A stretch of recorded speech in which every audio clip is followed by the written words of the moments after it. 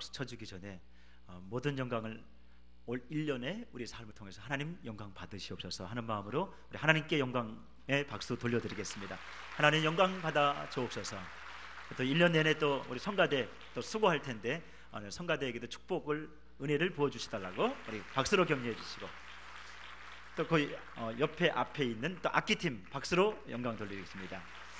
오늘 아까 우리 또 찬양팀 찬양팀도 안 하면 또 섭섭하죠. 우리 찬양팀 또 격려 박수 한 번 더 해야 될 것이 있습니다. 아, 밑에서 저기 뭐 차량 바깥에서 이제 이거 하는 건 이분들 보통 문제가 아니에요 이게요.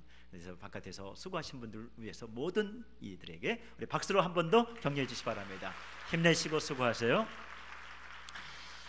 아, 우리 아, 옆에 사람 같이 인사하겠습니다. 사랑합니다. 축복합니다. 아, 만나서 반갑습니다.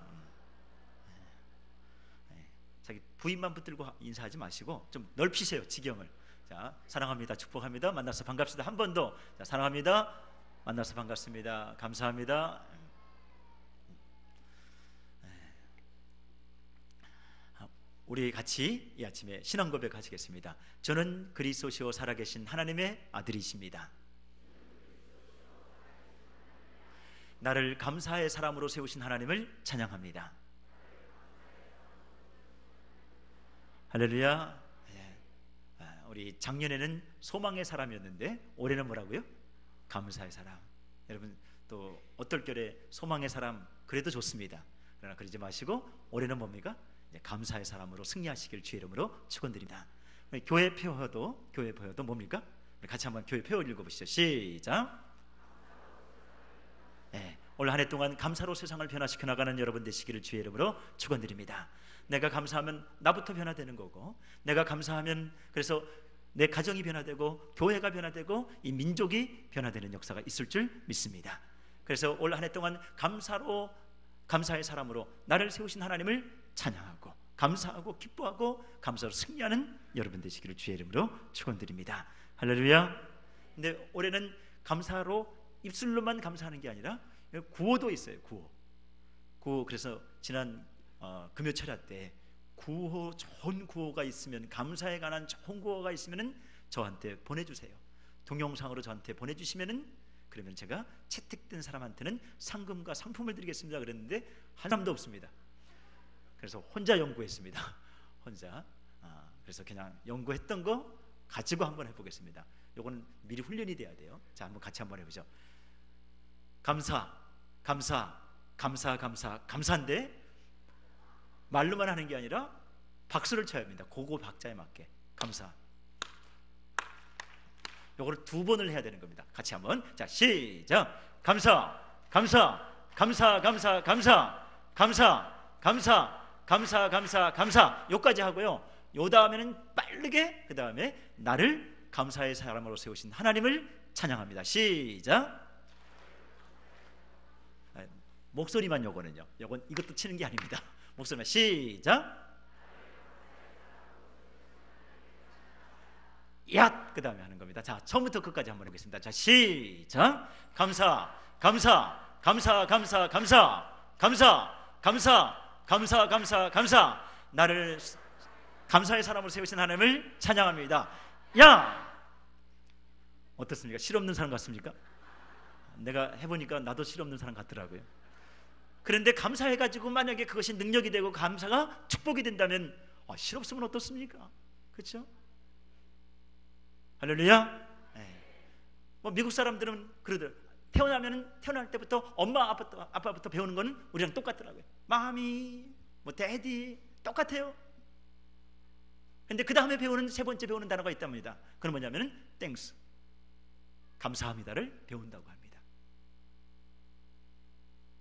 근데 그냥 좋아도 감사, 싫어도 감사, 감사, 감사 이렇게 얘기할 때 우리나라 사람이 그 소리를 들으면은 왜 실없이 저 얘기할까? 우리나라 사람들은 뭐가 이유가 있어야지 감사합니다 하면은 말이 맞는데 이유 없이 감사하면은 실없다고 그러잖아요. 싱겁다고 그러잖아요. 근데 미국 사람은 이상하게 그냥 기분 좋아도 감사하고 기분 나빠도 감사하고 도움을 받아도 감사하고 도움을 받지 도움을 주어도 감사하고 그냥 땡스가 입에 뱄어요. 근데 우리가 잘 삽니까? 거기가 잘 삽니까? 어떻게 목사님 그걸 절대적으로 비교할 수는 없잖아요. 그러나 전체적으로 봤을 때 강대국이잖아요. 그렇죠? 그래서 나는 그렇게 생각해 봐요. 아, 저 사람들은 결코 감사가 헛된 거 아니구나. 헛된 거 아니구나. 우리 그냥 배고파도 배고파 죽겠다. 배불러도 배불러 죽겠다. 이거 갖고는 안 돼요. 그렇죠? 늘 그냥 감사 이렇게 얘기해야 되잖아요. 나는 결코 감사를 많이 한다고 해서 실없는 사람이라고 생각지 않습니다. 여러분 올 한 해 동안 감사가 넘침으로 말미암아 내가 변화되고 내 가정이 변화되고 교회가 변화되고 이 민족이 달라지는 역사가 있을 줄 믿습니다. 오늘 본문에 우리가 사도행전 16장을 읽지 않았습니까? 여기에 주인공 두 사람이 나와요. 늘 말씀드리지만은 이 두 주인공 뒤에서 날마다 역사하시고 도와주시는 그 하나님께서 주인공이시죠. 그러나 그 하나님을 섬겼던 바울과 신라가 여기 등장을 합니다. 이 바울과 신라는 특별히 바울은 어떤 사람일까 생각을 해봐요. 바울, 바울은 사실은 부귀영화를 다 누린 사람이에요. 로마가 그 이스라엘을 정복했을 때, 팔레스타인 지역을 정복했을 때, 그때 많은 그 팔레스타인 사람들이 이제 지배를 당하고 정복을 당하잖아요. 그 사람들을 다스리기가 힘드니까 누구를 세웁니까? 로마 시민권을 줘서 그 시민권자가 다스리게 했어요. 그때 시민권을 그냥 로마 시민권을 그냥 받은 사람이 누굽니까? 사도 바울이에요. 바울은 그만큼 로마까지도 인정했던 그런 부귀영화를 누렸던 권력 있던 그리고 학문적으로도 가장 탁월했던 그런 삶을 살았던 사람이 이 바울이에요. 그런데 예수 그리스도를 위해서 내 인생을 바치겠습니다 하는 변화되는 인생을 삶으로 말미암아 그때부터 그 영광을 다 내려놓고 그때부터 환란과 핍박 속에 살았던 사람이 사도 바울입니다. 복음을 전한다는 이유 때문에 돌에 맞습니다. 복음을 전한다는 이유 때문에 멸시천대를 당합니다. 복음을 전한다는 이유 때문에 감옥에 갑니다. 오늘도 감옥에 들어가는 거예요. 근데 그런 환란과 핍박과 그런 어떻게 보면 좋은 일을 했는데 환란 당하고 좋은 일을 했는데 핍박당했던 사람이 사도 바울이에요. 근데 그런 환란 가운데서도 자기 정체성을 잃어버리지 않고 살았던 사람이 바울인데 바울의 삶의 특징이 뭘까? 고난 가운데 그의 삶의 특징은 뭘까? 사도 바울은요 옥중에서 편지를 씁니다. 그걸 옥중 서신이라 그러는데 그게 에베소, 빌립보서, 골로새입니다. 여기에 있는 말씀들을 보면은 그가 그 감옥 속에서 어떻게 살았는지를 우리가 알 수 있어요. 특별히 대표적인 구절이요. 빌립보서 4장 6절 말씀인데 아무것도 염려하지 말고 다만 모든 일에 기도와 간구로 너희 구할 것을 감사함으로 하나님께 아뢰라 그랬습니다. 염려할 수밖에 없고 걱정할 수밖에 없고 환란이고 고난이고 감옥에 갇혀 있는 자기 모습이에요. 환경에 막혀 있습니다. 사람에게 막혀 있어요. 그래도 좋은 일 하다가 복음 전하는 일 하다가 감옥 속에 들어갔으니까 얼마나 힘들겠어요. 마음도 아프고 또 육신적으로도 힘들고 어려운 이 환란과 고난 속에서 사도 바울이 고백한 것은 뭐냐면은 아무것도 염려하지 말라. 오직 기도와 간구로 뭐로요? 감사함으로 하나님께 아뢰라 그랬습니다. 그는 환란 가운데서도 감사했던 사람이 사도 바울이에요. 바울은 감사의 삶이었다 이겁니다. 더 나아가서는 또 데살로니가전서 5장 16절, 17절, 18절 말씀해 보면 항상 기뻐하라. 쉬지 말고 기도하라. 범사에 뭐 하라고요? 감사하라. 이것이 그리스도 예수 안에서 너희를 향하신 하나님의 뜻이니라 그랬습니다. 사도 바울은 감옥 속에 들어가든지 환란을 만나든지 핍박을 만나든지 좋은 일 하다가 누명 쓰고 좋은 일 하다가 감옥 가도 그 상황 속에서 그가 하나님 나를 향하신 하나님의 뜻이 무엇입니까? 그렇게 물어보고서 스스로 대답하기를 뭐라고요? 범사에 감사하라. 이는 너희를 향하신 하나님의 뜻이니라고 스스로 답을 주는 것을 보게 됩니다. 그러니까 어디를 가든지 그 환란 속에서 감사를 고백했던 사람이 사도 바울이에요. 그리고 빌립보서 5장 20절 말씀해 보면은 이제 결정적으로 감사하는 자가 되라 이렇게 명령을 하셔요. 사도 바울의 삶의 특징은 그래서 감사의 사람으로 평생 살았다는 거예요. 그런데 사도 바울의 감사는 좀 특징이 있잖아요. 다른 사람보다 특징이 있는데 그 특징이 뭡니까?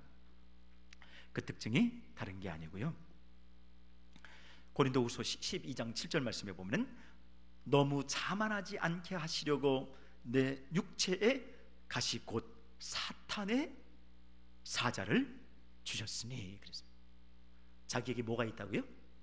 육체에 가시를 주셨으니 가시는 가시가 몸에 피면 죽습니까? 안 죽습니까?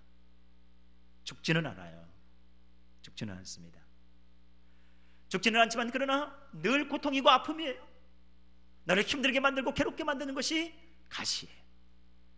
사도 바울은 이 가시 때문에 가시 때문에 늘 평생을 이 가시를 가지고 살았는데 아픔을 가지고 살았습니다. 다른 말로 얘기하면 사도 바울은 직접적으로 육체의 가시를 가지기는 가지기도 했어요. 그게 뭡니까? 그 직접적인 가시가 뭐냐면은 그것이 이제 간질이나 안질이나 둘 중에 하나라는 겁니다.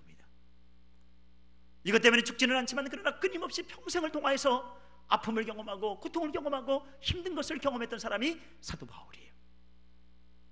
그리고 그의 삶의 현장 속에서 늘 끊임없이 환란을 당하고 고난을 당했기 때문에 삶도 가시였고 또 육체적인 가시도 가지고 있었다는 겁니다. 그런데도 불구하고 그 과정 속에서 늘 감사하고 살았기 때문에 사도 바울은 감사의 특징이 있는데 어떤 감사냐면 어떤 사람은 이걸 가리켜서 가시 감사다. 가시 감사다. 이렇게 얘기를 하더라고요. 여러분 찬송가에도 감사 찬양일 때 장미꽃 감사 있잖아요. 그죠? 장미꽃 감사. 그러니까 장미꽃이 피면은 그 장미꽃에 뭐가 있습니까? 꽃만 있는 것이 아니라 거기 가시가 있잖아요. 향기가 있고 참 아름다운 꽃이 있어요. 그러나 가시가 있다는 겁니다. 그래서 아픔도 있지만 좋은 것도 많기 때문에 좋은 것을 바라보고서 감사하는 것. 그 장미꽃 감사라면은 사도 바울의 특징은 가시 감사. 가시는 뭐냐면 이건 장미꽃이 없어요. 육체도 힘들고 아프고 내 삶의 현장 속에도 환경도 너무나도 힘들고 어렵고 온통 가시투성이에요. 그런데도 불구하고 온통 가시투성이이지만은 아픔이고 고난이고 환란이지만은 그런 와중 속에도 뭐 한다고요? 거기에서도 감사했던 사람. 이 가시 감사예요. 장미꽃 감사만 해도 얼마나 행복한 겁니까? 그래서 꽃이 있잖아요. 그죠? 근데 그 꽃마저도 온통 가시인 자기 인생. 그런 와중 속에서 감사했던 사람이 이 사도 바울이라는 겁니다. 그러면 왜 사도 바울이 이렇게 감사했을까? 아까 12장 7절 고린도 후서 얘기하지 않습니까? 너무 자만하지 않게 하시려고 내 육체에 가시 곧 사단의 사자를 주셨으니 그랬습니다. 그러니까 평생 사도 바울은 그 육체의 가시 환란과 고난과 역경과 그 육체가 가지고 있는 아픔과 고통 때문에 그 고통을 누렸지만은 그러나 그것 때문에 사도 바울은 어떻게 했다고요? 교만하지 않게 되었다는 거예요. 여러분 여기에도 아픔과 연약함이 없었다면 교만할 사람 많을 거예요. 아픔이 없었다면 혼란이 없었다면 고난이 없었다면 육체의 가시가 없었다면 교회 안 나올 사람 참 많을 거예요. 그러나 하나님께서 우리에게 가시를 주셨던 이유는 사도 바울은 그 가시 때문에 오히려 감사했다는 거예요. 왜요? 나는 교만할 만한 그런 여건과 환경. 교만할 것도 없는데 교만한 사람도 얼마나 많습니까? 그래서 사도 바울은 교만할 게 너무나도 많은 그런 좋은 환경에 살았던 사람이에요. 가마리엘 문화생이고요. 로마가 인정했던 그런 그런 가문을 가졌던 사람이에요.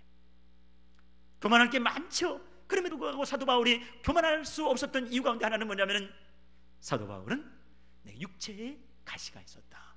그래서 나는 겸손할 수 있었다. 뿐만 아니라 그 육체의 가시 환란과 고난 때문에 감사할 수 있었을 뿐만 아니라 그 환란과 고난 때문에 교만하지 않고 또 하나님을 의지할 수 있었다는 거예요. 여러분 호주머니 돈이 없어서 교회 한 사람 교회 오신 분도 있죠? 호주머니 돈이 많으면은 세상에 나갈 사람도 참 많습니다. 여러분 없어도 감사하시길 주의 이름으로 축원드립니다. 얼굴이 훤해요. 늘 번들해요. 그래서 교회 안 나오고 세상으로 나갈 사람 많이 있습니다. 그거 믿고서요. 그래서 좀 덜 생겨도 예수 믿게 하신 것 감사하시길 주임으로 축원드립니다. 그런 거예요. 사도 바울은 그래서 내게 육체의 가치가 있는데 그 육체의 가치 때문에 나는 교만할 수가 없었습니다. 나는 육체의 가치가 있었기 때문에 하나님만을 의지하고 설계되었습니다. 더 나아가서는 내가 육체의 가치가 있었기 때문에 나는 하나님의 영광을 위해서 세상의 영광을 추구하지 않냐고 하나님의 영광을 위해서 살 수 있었습니다. 사도 바울이 그렇게 얘기를 하는 거예요. 그러면 오늘 본문에 오늘 본문에 이 감사의 사람이었던 사도 바울이 어떻게 감사하며 살았을까? 그 감사하는 사람에게 나타나는 그런 능력이 어떤 것이었을까? 감사하는 자에게 어떤 삶이 나타났을까? 그래서 어떤 축복을 누렸을까?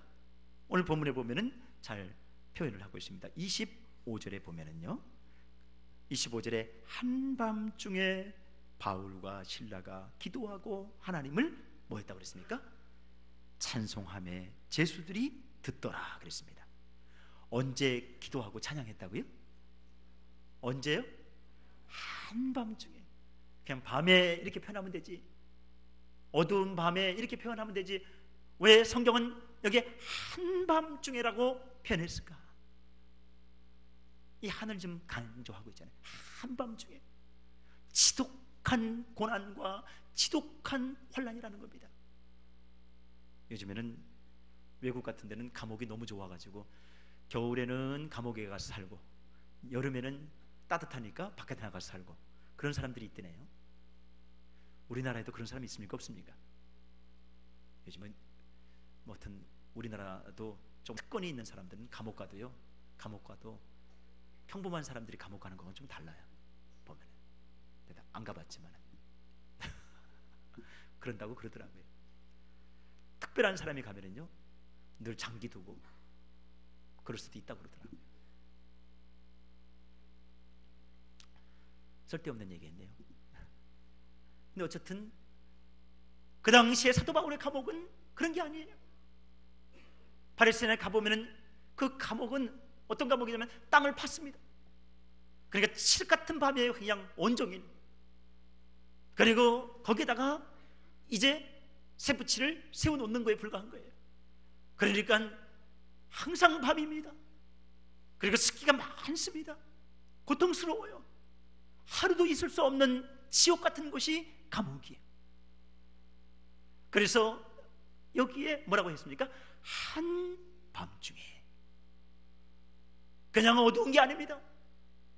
그냥 어두운 곳을 표현하기 위해서 한 것이 아니라 사도 바울이 처해 있는 지금 환경이 한밤중이라는 겁니다. 지독한 겨울, 지독한 죄, 지독한 습기, 지독한 어두움, 지독한 견딜 수 없는 아픔과 고통이 있는 장소라는 거예요. 그 장소에 사도 바울이 뭐 했다고요? 기도하고 찬송하며 기도하고 찬양했다. 여러분 그 인생의 고통은 그 한밤중에 누가 기도하고 누가 찬양하겠습니까? 누가 기도하고 누가 찬양하겠습니까?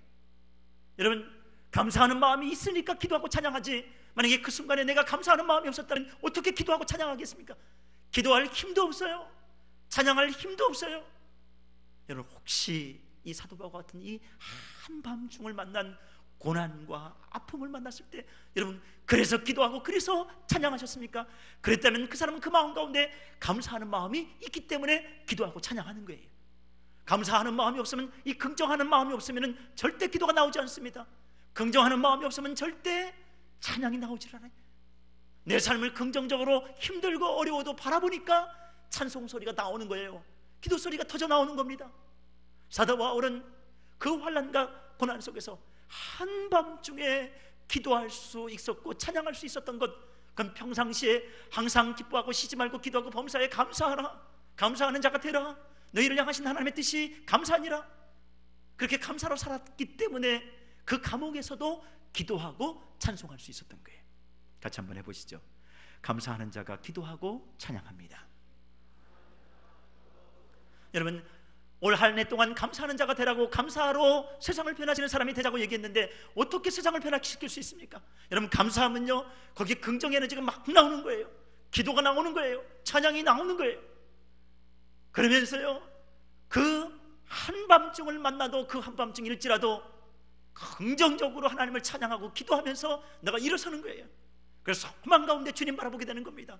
내가 변화되는 거고 내 가정이 변화되는 거고 교회가 변화되는 거고 이 민족이 변화되는 역사가 있을 줄 믿습니다. 그런데 더 나아가서는요 한밤중에 기도하고 찬양했는데 누가 들었다고 그랬습니까?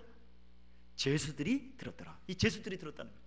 여러분 감옥에서 신세 태령하는 사람 많습니다. 근데 제수들이 다 누구 소리를 들었다고요? 그 환란 가운데 있었던 사도 바울이 기도하고 찬양하는 것을 다 들었더라. 어떻게 저렇게 할 수 있을까? 저 죽음의 위기에 처해 있는 저 환란 가운데 있는 사도 바울 나도 죽고 너도 죽을 줄 모르는데 그 죽음의 위기 속에서 나는 절망하고 낭망하고 있는데 저 사람은 뭐 하고 있습니까? 찬양하고 기도하고 있는 거예요. 어떻게 저럴 수 있을까? 보니까 저 사람이 누구 믿는 사람이에요? 예수 믿는 사람인 거예요. 예수 믿는 사람은 그래서 다른 거예요. 어디를 가든지 감사하는 사람은 어디를 가든지 다른 겁니다. 그래서 그 감사하는 사람 때문에 다른 사람이 그 소리를 듣고서 다른 사람이 감동하는 겁니다. 그런 역사가 여러분들 삶 가운데도 있을 줄 믿습니다. 할렐루야. 조셉 스크리븐이라는 사람이 1855년도에 살았던 사람인데 이 스크리븐은 27살 때 장가를 가려고 약혼을 했습니다. 약혼을 했는데 약혼 해 가지고 이제 내일이면 결혼을 해요. 얼마나 기뻤겠습니까? 근데 그 기쁜 날 앞두고 있는데 그날 저녁에 자기 약혼녀가 물에 빠져서 죽게 됩니다. 참 힘들겠죠. 얼마나 힘들었겠습니까? 여러분 당해보지를 않아서 그렇죠. 당해보지를 않으니까 무표정 하나네요. 어휴 이거 이게 없고 그런가 보다. 당해보세요. 힘든 겁니다. 근데 그걸로 끝나지. 그래서 너무너무 힘들어가지고 자기 고향 땅을 떠나가지고 캐나다로 이주를 갔습니다. 이주를 했어요. 난 도저히 여기서 살 수 없어요. 그래서 캐나다로 이주를 갔어요. 캐나다로 이주를 갔는데 이주하고 난 다음에 다 잊어버릴만 해가지고 좋은 여성을 또 만났어요. 만났는데 만나고 보니까 너무 좋아서 약혼을 했습니다. 결혼을 앞두고 있는데 그 여성이 폐렴으로 죽됩니다. 두 번을 그 아픔을 경험을 한 거예요. 또 죽게 돼요. 아마 여러분들 같으면 어떻습니까? 아마 기절하고 자빠졌을 겁니다. 근데 그러고 난 다음에 너무너무 절망 가운데 있는데 또 소식이 오는 거예요. 그 소식이 뭐냐면은 어머니가 있는데 어머니가 자기 고향에서 이제 곧 죽게 됐다는 소식이 찾아옵니다. 그래서 너무너무 힘든 거예요. 이거 어떻게 하면 좋은가? 편지가 왔는데 당장이라도 달려나가고 싶은데 달려나갈 수가 없는 거예요. 그래서 너무너무 절망 가운데 왜 내 인생은 이렇게 힘든가? 그 멀쩡했던 어머니가 떠나는데 그 어머니가 얼마나 외로울까? 아무도 없는데 나무자도 떠났는데 그 곁에 누군가가 친구가 되어줘 가지고 그 임종의 순간에 내가 그 손을 붙들어 주고 싶은데 그 고통의 시간, 그 외로운 시간, 그 절망의 시간에 내가 꼭 붙들어 주시고 내가 꼭 붙들어 드리고 싶은데 내가 거기 있지 못하는 것이 너무나도 마음이 아픈 거예요. 어떻게 하면 좋을까? 그래서 엉엉 울다가 그 시간에 하나님 앞에 기도하기 시작했습니다. 엉엉 울면서 하나님 우리의 어머니의 내 어머니의 친구가 되어 주세요. 그 곁에서 주님이 그 손을 꼭 좀 붙들어 주세요. 그리고 주님이 외롭지 않도록 친구가 되어 주셔서 그 손을 붙들어 주시고 마음을 위로해 주세요. 그렇게 기도하고 합니다. 갈 수는 없으니까 너무 멀리 떨어져서 갈 수는 없으니까 그렇게 하면서 기도하면서 편지를 써 보냈다고 합니다. 그때 써 보냈던 편지가 여러분 찬송가 369장이에요. 그냥 지나갈 수 없지 한번 찬양해야 되겠지 않습니까? 우리 1절만 같이 한번 크게 가슴을 열고 찬양하겠습니다. 죄짐 맡은 우리 구주 어 찌 좋은 친구인지. 걱정 근심 무거운지.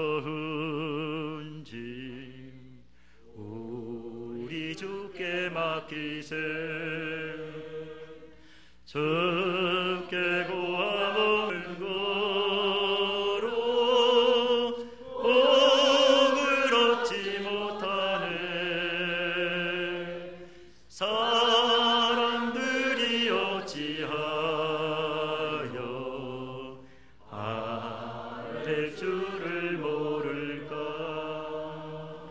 할렐루야 하나님 우리 어머니의 친구가 되어 주시옵소서 내 친구였던 것처럼 하나님께서 친구 되어 주셔서 그 고독하고 외롭고 고통스럽고 힘든 그 죽음 앞에서 절망하지 않게 해달라고 주님이 친구 되어서 그 손을 꼭 붙들어 주세요.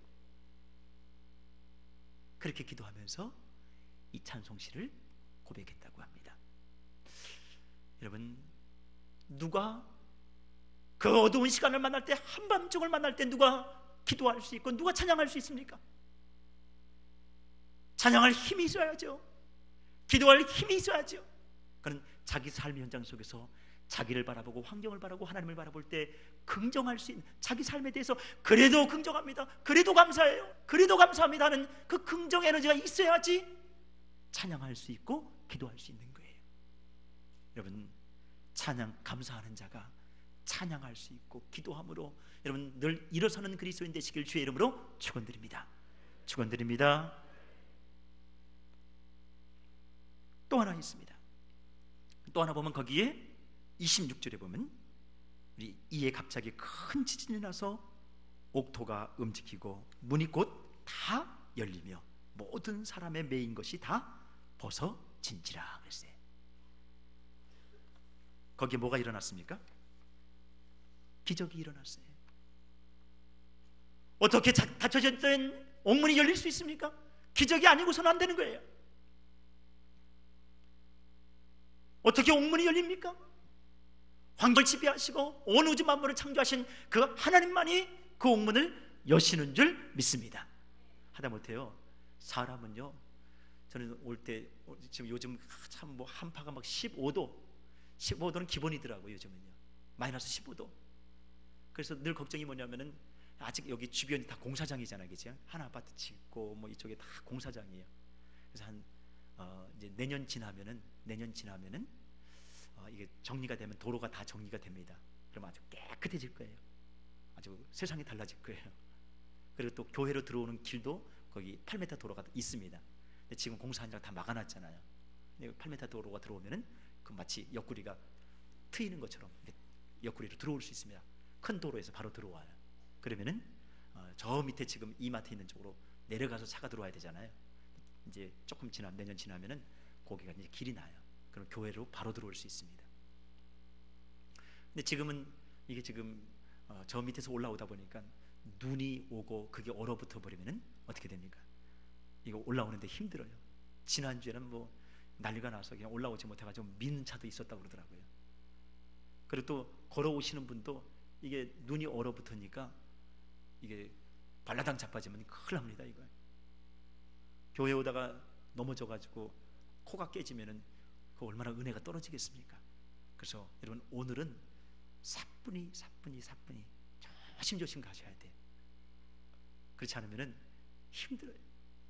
또 어제는 또 뭐를 옥상에서 뭐 공사한다고 뭘 건드 누가 일하는 사람이 건드려 놔가지고 또 거기 있는 물이 또 터져가지고 물이 또 이쪽에 내려와가지고 밤새도록 집사님들하고 얼마나 고생했는지 몰라요. 그 닦아내느라고.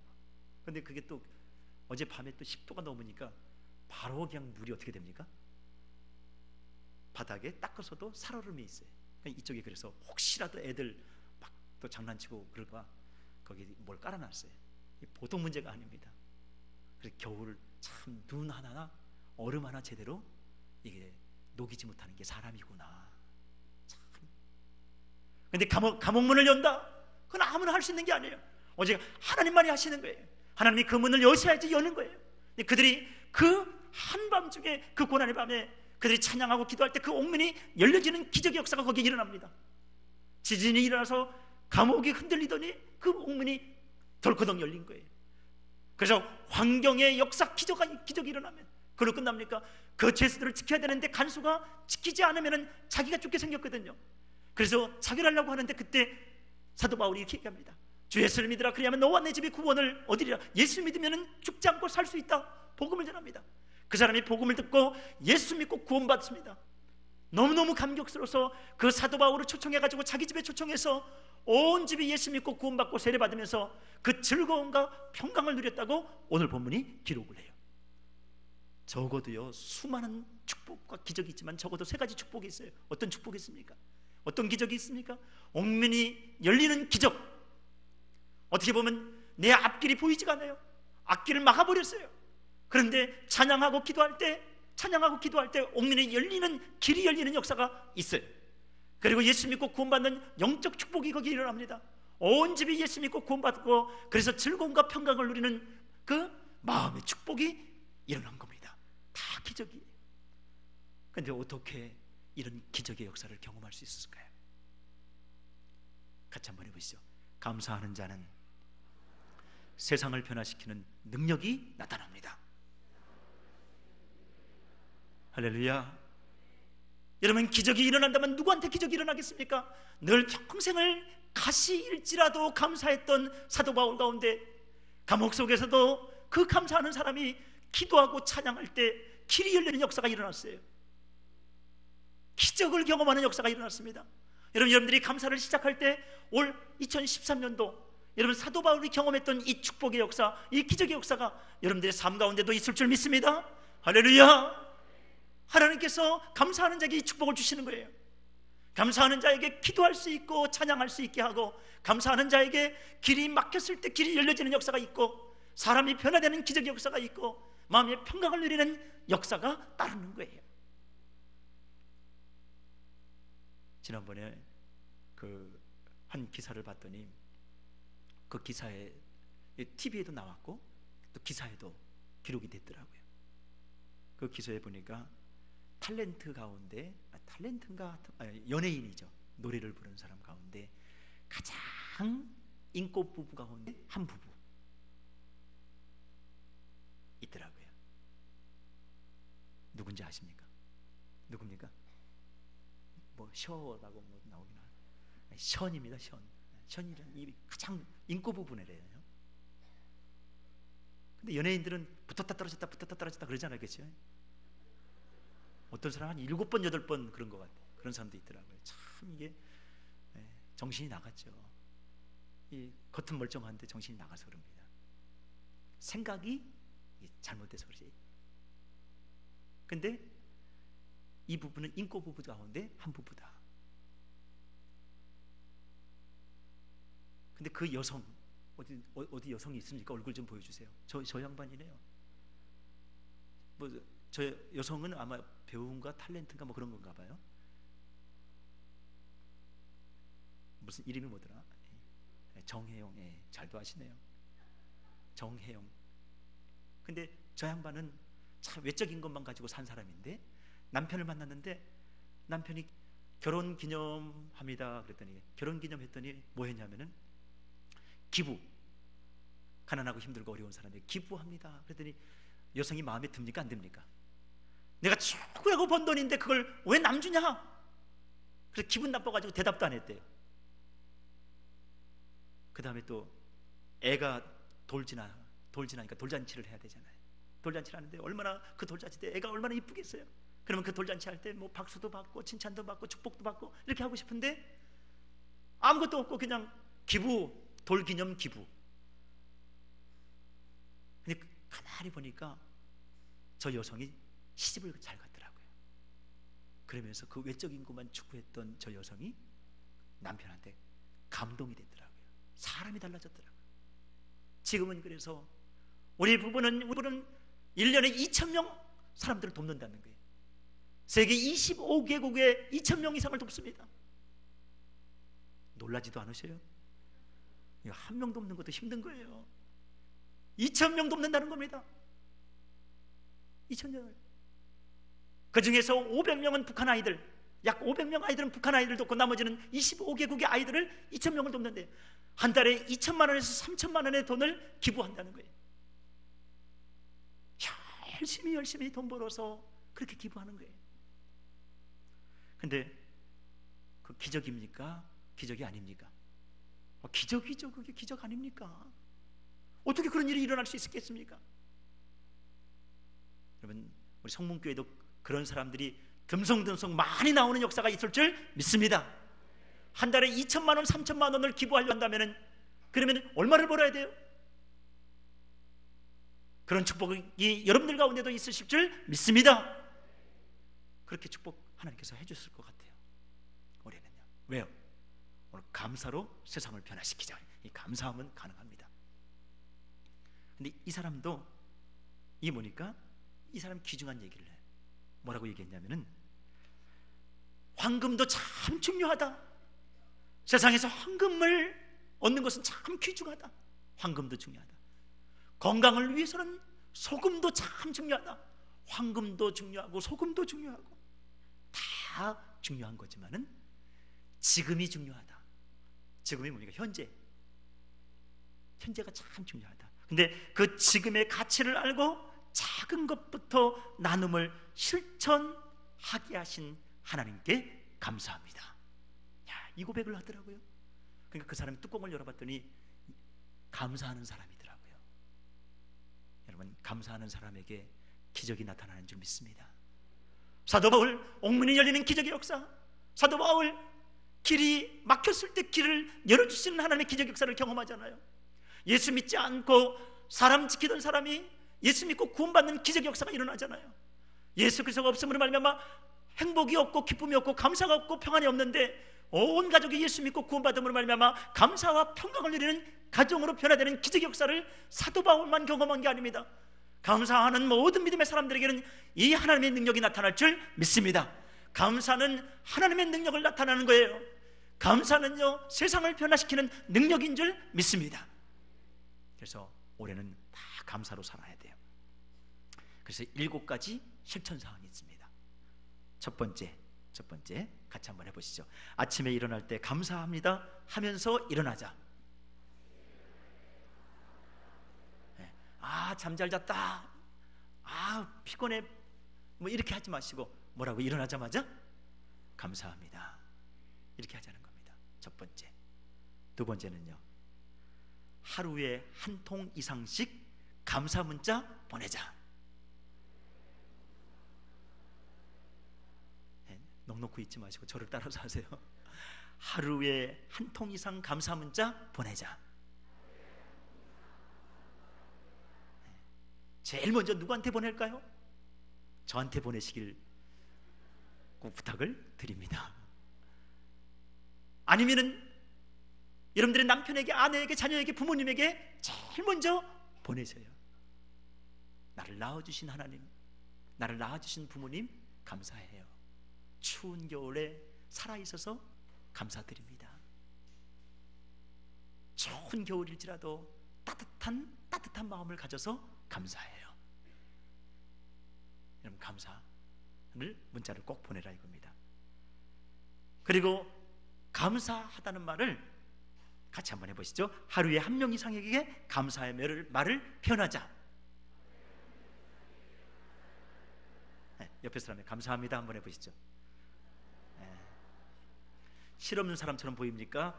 알찬 사람처럼 보입니까? 이거 실없이 하는 게 아니에요.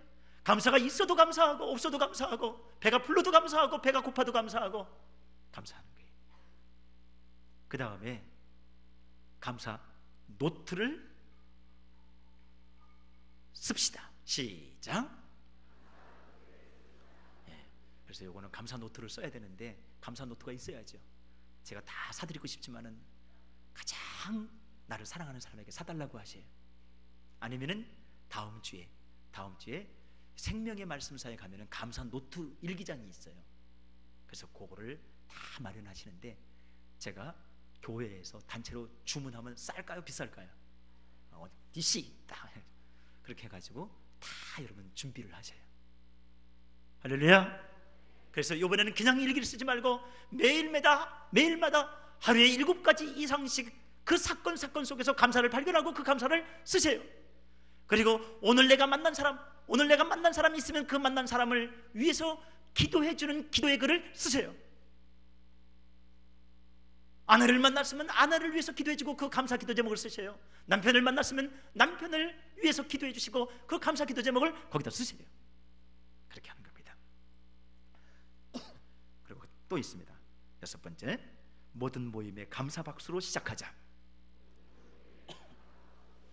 예, 아까 훈련 받으셨죠? 같이 한번 해보겠습니다. 자, 감사 박수 준비.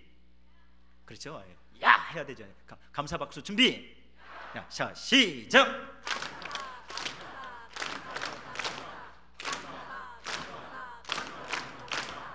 나를 감사의 사람으로 세우신 하나님을 찬양합니다. 야, 야 이러지 마시고 이 이 뭐지 이 뭡니까 이거 짝대기 든 거예요. 아니 짝대기 황금 꺼, 꺼내서 야 타는 것처럼 같이 한번 시간이 없으니까 양만 다시 한번 해보겠습니다. 자 시작. 야 그렇게 하는 겁니다. 그래서 모일 때마다 요거 하셔야 됩니다. 마지막으로 하나 더 부탁드릴 것이 있는데 그것은 뭐냐면 2013년을 주신 하나님 감사합니까? 감사하지 않습니까? 감사하잖아요. 2012년 얼마나 부족했습니까? 최선의 노력을 다한다고 했지만은 부족한 게참 많잖아요. 그런데도 하나님께서 우리를 사랑하셔서 2013년이라는 그 기회를 또 다시 주셨잖아요. 그럼 얼마나 감사합니까? 그래서 2013년 동안 나를 하나님의 영광을 위해서 한답게 쓰임 받는 도구로 하나님께서 나를 세우시기 위해서 2013년이라는 해를 다시 한번 기회를 주셨어요.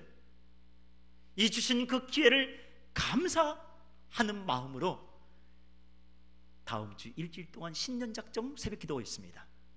여러분 정말 감사하다면 그 한 주간을 하나님께 드리시길 주의 이름으로 축원드립니다. 그래서 한 주간 동안 감사하면서 하나님 1년을 주신 하나님 참 감사합니다 하면서 월화수목 금요일까지입니다. 전에는 토요일까지 했는데 그러다 보니까 금요 철회를 못 해요. 그래서 안 되겠습니다. 월화수목 금까지 하고 금요일 금요 철회는 정상적으로 드리고 월화수목 금 5일입니다. 여러분 한 주간을 여러분 하나님 앞에 정하면서 기도하면서 2013년 내가 어떻게 쓰임 받을 것인가 하나님에 대한 비전과 꿈을 발견하고 내 소망을 발견하고 그래서 그 꿈과 소망을 가지고 여러분 기도하면서 부르짖고 간구하면서 여러분 1년을 승리하고 열매 맺는 인생 되시길 주의 이름으로 축원드립니다. 할렐루야. 할렐루야. 그런 감사로 승리하는 한 해 되시길 주의 이름으로 축원드립니다. 전능하신 아버지 하나님 올 한 해 1년 감사로 하나님께 영광 돌릴 수 있고 감사로 세상을 변화시키는 그리스도인으로 나를 세우신 하나님 감사합니다. 멋지고 귀하게 아름답게 감사로 승리하는 삶 될 수 있도록 축복하여 주옵소서. 예수님의 이름으로